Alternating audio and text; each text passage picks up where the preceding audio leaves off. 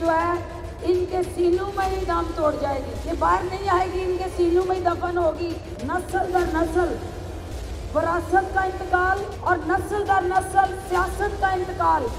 یہ دو خاندان جو کرتے رہے، عوام ان کی آواز پہ کوئی لبیک کہنے کے لیے تیار نہیں ہے۔ ان کو پتہ ہے کہ اس بجٹ کے بعد پاکستان کی اکنامک سٹیبلٹی ہونی ہے اور اپوزیشن جانتی ہے کہ اس کے بعد ان کا چورن نہیں بکنا۔ اپوزیشن کی دکانداری بند ہونے جا رہی ہے۔ دونوں سیاسی نو ملود جو ہیں، ان کا بیانیہ ان کی اپنی اپنی جماعتیں مسترد کر چکی ہیں۔ اور جن کی بات ان کی جماعتوں میں نہیں سنی جاتی، ان کی عوام، آواز کیسے سنیں گے؟ مولانا صاحب، اقتدار کا نشہ جو اٹھاسی سے ان کو لگا ہوا تھا، اب وہ اسی طرح اقتدار سے باہر رہ کے تڑپ رہے ہیں، جیسے مچھلی پانی کے باہر تڑپتی ہے اور وہ پانی میں دوبارہ واپس جانا چاہتی ہے۔